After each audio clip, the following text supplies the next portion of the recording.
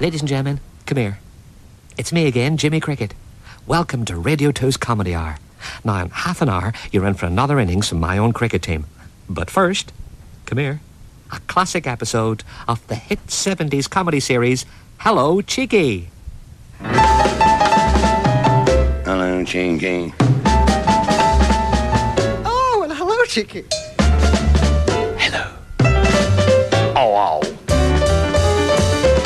Buenos dias, Cheeky. Hello, Cheeky. Oh, well, hello, Chicky. Hello. Hello. What a funny way to make a living.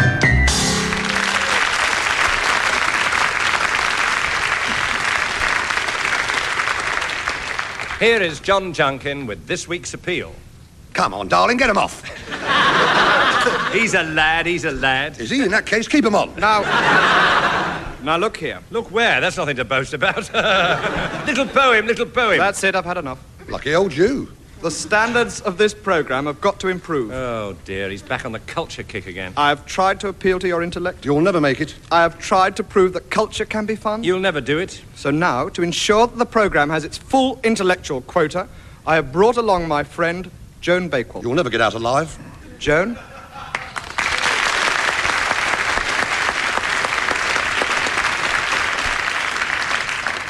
John, he's actually got her. I didn't think there were that many green stamps in the world.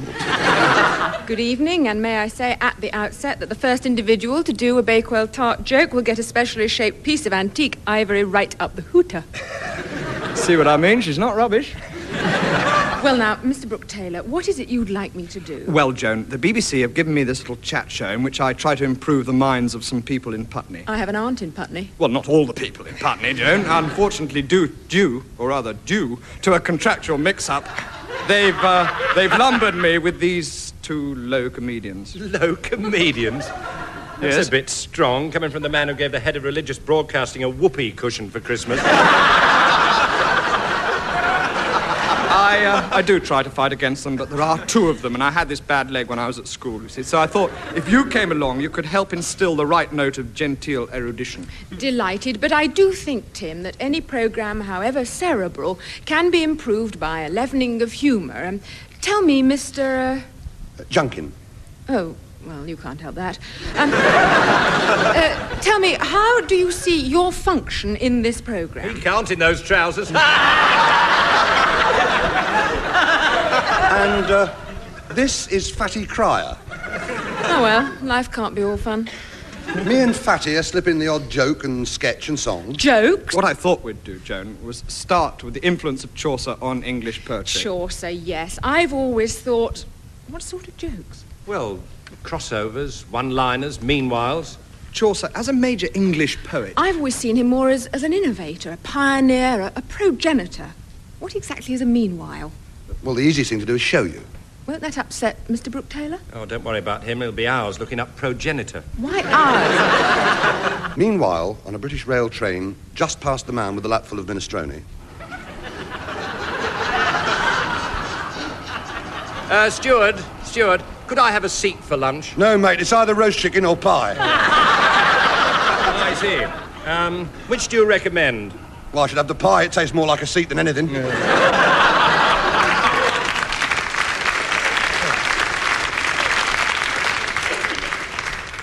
heavens, that was quite fun. uh, Joan, what were you saying about Chaucer being a Princes Risborough? Progenitor. Well, it's just up the road. yes, Tim. Uh, what else did you say you did? Uh, a crossover, what are they? Well, uh, well, here's one. My wife's furious. I've had a hot water tank fitted. Why is she furious? She wants me to take it off in bed at night. That's nice. We never had anything like that on late night lineup. We never had any jokes, apart from Philip Jenkinson. Shakespeare owed a lot to Chaucer. And never paid a penny for it. How's that? You're learning, girl. Joan, I don't think. Tim, I would be delighted to discuss the aesthetic values of the early English poets. Ah, good, because Fletcher and Beaumont were, in a sense, also Princes Risboroughs. But can I do a crossover first? Uh, Mr. Cryer, have, have you got a funny one? Well, his wife told You me. wouldn't dare. No, you're right, I wouldn't. Would you care to try this one, Joan? Excuse me, miss. Want to buy a raffle ticket for the Chelsea pensioners? No, thank you. I've got nowhere to keep them if I win them. oh, I like it. On the other hand, Francis Bacon was more than a Princes Risborough. He was a Stockton-on-Tees. Oh, knickers to Francis Bacon. Miss Bakewell! I'm beginning to enjoy this. All right, but they'll cost you 50 quid. I've got nowhere to keep them if I win them. I think this could be my métier. Well, we'd be delighted to have you, Joan, but this is a cooperative show. Métier, is that anywhere near Manchester? Tell you what, Joan, you sit down and watch us for a little while, and then if you think of anything, just feel free and join in. All right, can I sit down on this little round overstuffed thing? We'd rather you didn't. That's Denis King.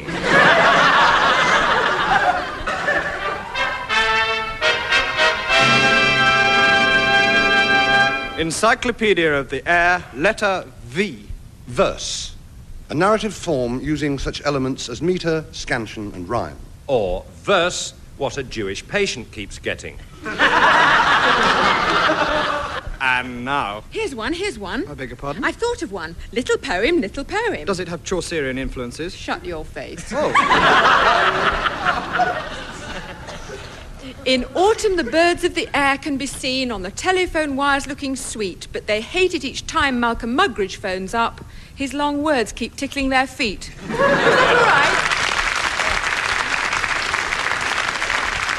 that Marvellous. all right? Oh, good. Miss Bakewell, you're shattering all my illusions. You don't stop interrupting me in mid-flow. I shall do the same to your teeth. Joan, uh, Miss Bakewell, I appeal to you. Don't put money on it, Bubbles. You're... And now, John Junkin, accompanied by the Denis King Trio. Four men, five songs. Pick the bones out of that.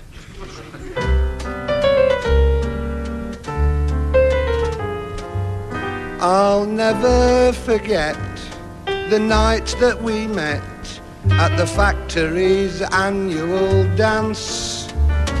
I was blind to your faults as we did the last waltz and took a tram ride to romance.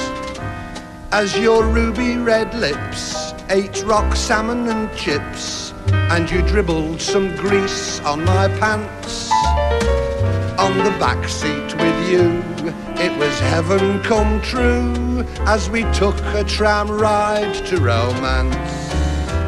I'm sure the world could hear my heart was singing, keeping time with the tram bell ringing.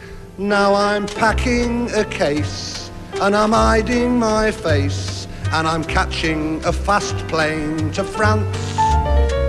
Cause I heard at the pub that you're now in the club since we took that tram ride to romance.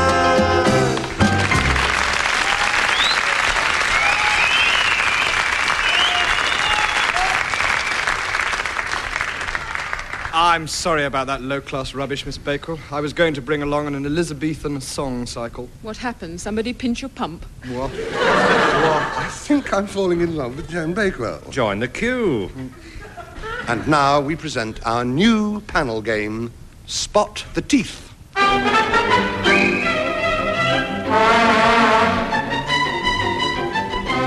And here is your hostess, Bubbles Bakewell. Good evening, or if you live in Norwich, rhubarb tart. What does that mean? We've never found out. Hello? Hello, this I'm a citizen of Norwich here.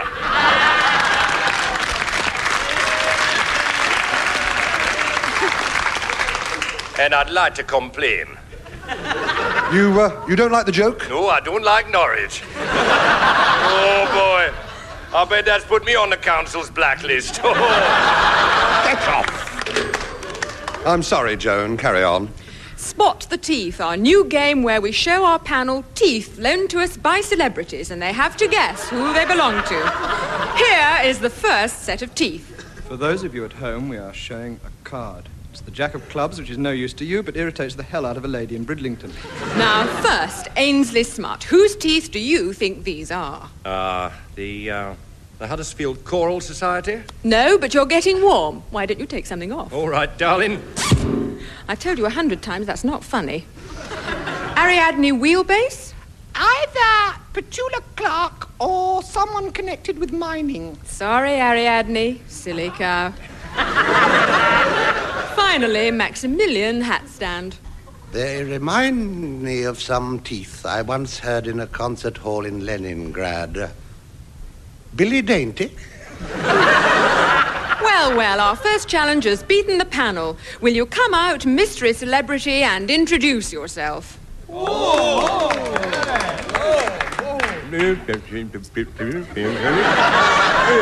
Now you finish making a new film. What's it called? Uh, called, um, oh, of course, you like your teeth. Ah, thank you very much. And it has been a pleasure. And for us. And perhaps you'd like to tell us the name of your film again. Certainly, it was. Well, that's all we've got time for, but don't forget, next week we'll be presenting Gum of the Month. So, from myself and the panel, it's.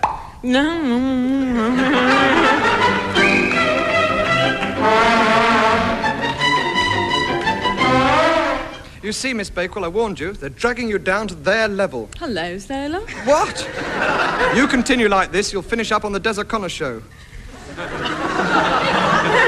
Um, Miss Bakewell, we haven't met. I'm Denis Semprini, Eat Your Heart Out King. um, you nearly sat on me just now. So- Sorry, I mistook you for a small poof.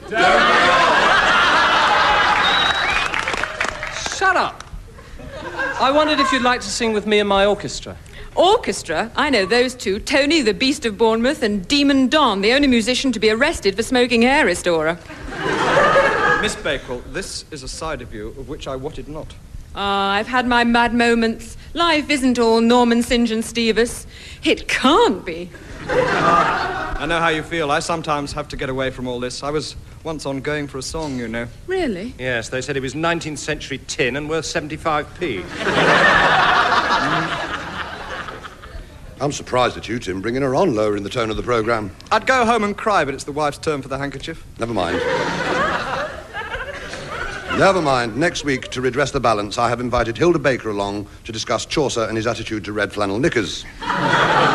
In order to lift tonight's programme back to its previous depths, here is a little known recording of Mr. Mary Whitehouse singing With the End of Me Old Cigar.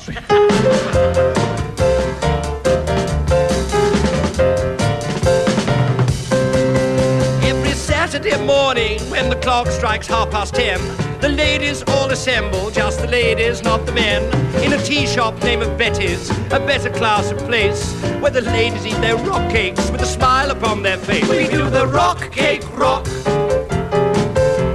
a sensible frock. Everybody all around the block joins in and does the rock cake rock. You can get a maid of honor or a scone with jam inside. You can have a slice of gateau, Betty's donuts are her pride. But the ladies love their rock cakes, cause a rock cake's got some soul. Just add some bread and butter and it's really rock and roll. They do the rock cake rock,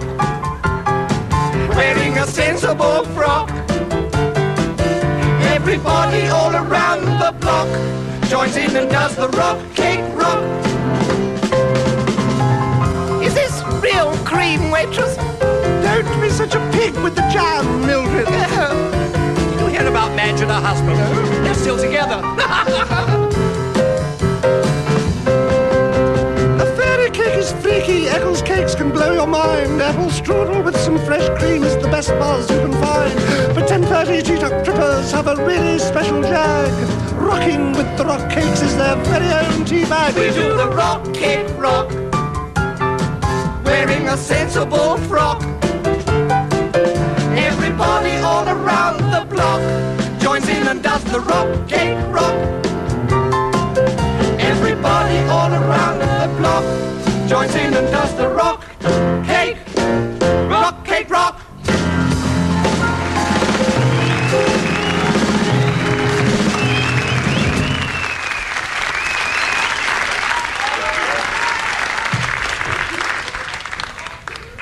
Excuse me, Mr. Brooke Taylor. What is it, Bubbles? I think I owe you an apology. That's all right, Brown Eyes. I owe you all an apology. Mm-hmm. During that last song, I locked myself in my dressing room. Well, that shows a glimmer of sense, Watch it. I realized that comedy wasn't my métier. which incidentally is nowhere near Manchester. And although I love the feel of the variety world, what I did was unfeminine, undignified, and unworthy of me. Well, I'm glad you've come to your senses. Yes, I've decided to devote my endeavors to an entirely different area. What's that? Mr. King, are you ready? One, two, three, and. For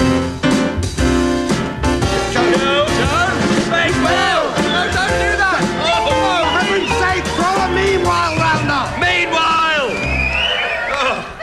Not a moment too soon, she was down to her second pullover. Meanwhile, oh, oh, as I live and breathe heavily. Meanwhile, It, it was you.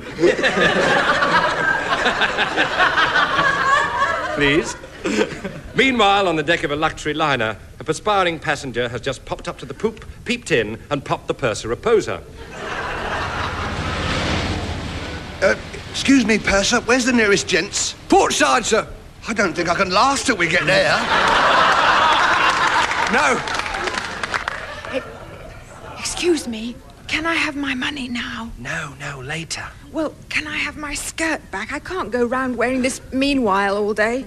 You can't go yet. You're in our historical extravaganza. What's it about? Henry VIII and his six wives. Which one do I play? All of them.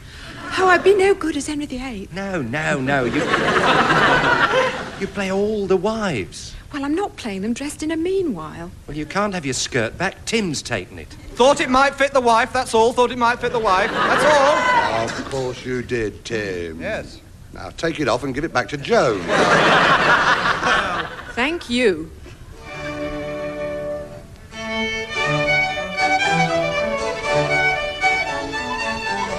Tudor England. The place, Hampton Court. The year, 1500 and typing error. It is a typical English spring day.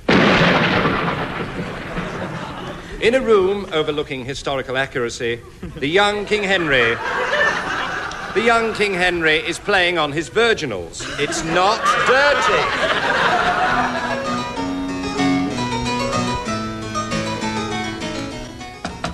Come in. Ah, good morning, Mr. Disraeli. Who this rubbish? Don't ask me, Bubbler. I didn't expect to be called for 300 years. Get out! Want to buy a second-hand royal barge? Fell off the back of a lorry. Get out! All right for razor blades.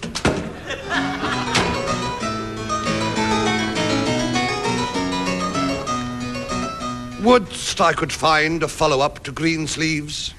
I wonder. I wonder if ye world is ready for ye song entitled You Can't Put Willie Where Willie Won't Go. Probably not. They haven't had the potato yet. Your Majesty. Ah, Wolsey, are my socks back from the laundrette? Yes, my liege, here. One of these is green and the other is red. I know, you've got another pair like that in London. Oh, not we got nerve. To do it twice. There are two people craving an audience. Give them this one. They didn't like the last joke much. One is a man named Crisp who is waiting for the discovery of the potato smith, and the other. and the other is a Spanish bint. Tell Crisp to come back in a hundred years and let's have a look at the crumpet. Your Majesty, may I present Catherine of Aragon?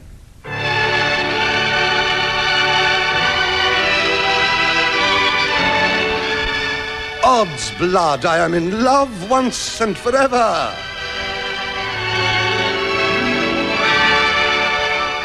Foulmouth Productions present The Six Wives of Henry VIII. Or what did he do on Sunday, we ask? Starring Henry Kissinger as Hampton Court, Lynsey de Paul as Henry VIII, Eric Morecambe as Fred the Human Otter, and introducing Joan Bakewell as the Six Wives, villagers, chorus, monks, and half a yeoman in the tower scene. A co production in association with Hannigan's Trust Boutique. And uh, you, Spanish Kate, Take Henry Vi to be your lawful. I do. I now declare you king and crumpet. Let the bells ring out. Ding dong, ding dong, ding. What's all that? Somebody sat on a record. Oh, God. Art happy, Kate? Happy? You jest. Oh, what? Jest. Look, jest. In Spain, J is pronounced. Barry, it's your line. Can't read my script. She's hooked all over my glasses. Come, Kate, let us away to the maze to play kings and queens. Any chance of a game? No, Who is that? Earl of Middlesex. Kate and Henry were happy at first, but then they had a row coming out of the church. By my halidom, who is that comely wench over there? That Henry is Anne Boleyn, one of my ladies in waiting, and put her down while I'm talking to you. That reminds me, Kate. I divorce you. What about His Holiness the Pope? I divorce him as well. when you're hot, you're hot. Excuse me, Harry, could I have a word? Disraeli, you back again? Yes, I come as an emissary from the Pope. But surely you're. I know, I know, but business is business. Get out and tell them to bring me a glass of warm water. what for? I'm going to dissolve the monasteries.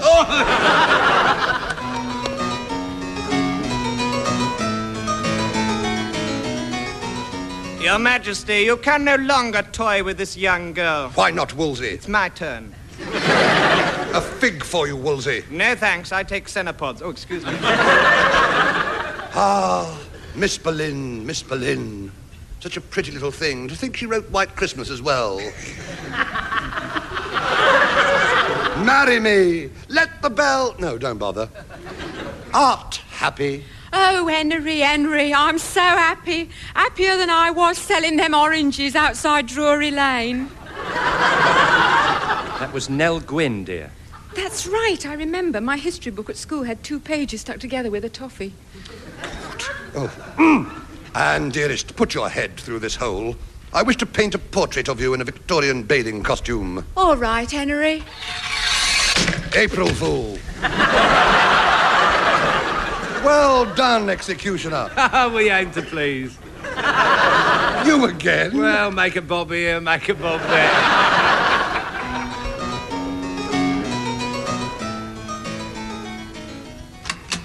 Your Majesty. Ah, Wolsey, have I done the sock joke? Yes. Oh, hellfire. Find me another wife. Hardly my bag, Your Majesty. But I do know this young lady, Jane Seymour. Just a friend, you understand? Ah, Jane, will you marry me? She's not here, Your Majesty. I know, but we're pushed for time. Oh, by the way, I should warn you that Sir Thomas More has preached another sermon condemning your activities. Tell him to stop it, Wolsey. Right, Squire. Don't say any more, Thomas More.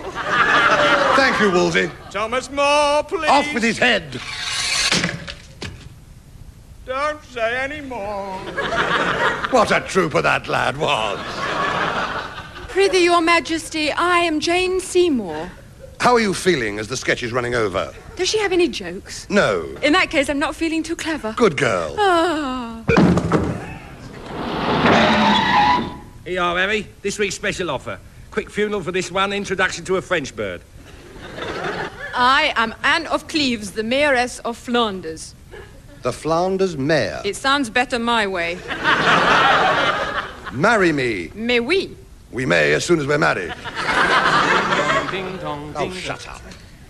Anne, you have disappointed me. I wanted a son.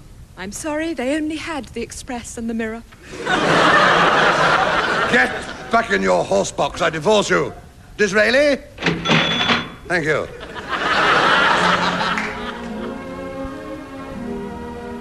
Ah, Wolsey.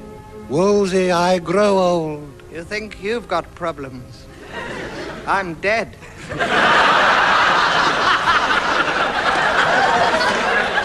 it's, it's only the Cenopods that keeps me going. Shut up.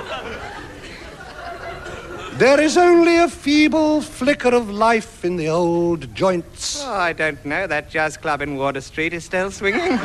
Your Majesty needs the company of a young woman. Would meet a young friend of my brother's from Purley, who once featured in a limerick. But I won't go into that. Come in, my dear. Hello. I'm Wolsey's brother from Purley. Uh, this part wasn't actually written in, but I haven't had much to do lately. Uh, have you done the sock joke? Yes.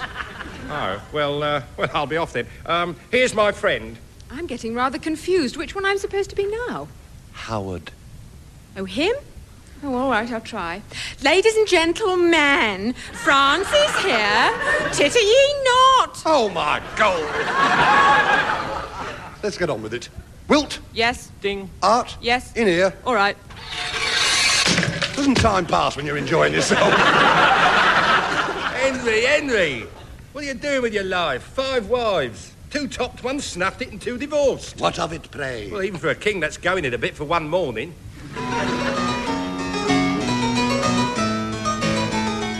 Here, Wolsey, my business is dropping off. Your private life is your own concern.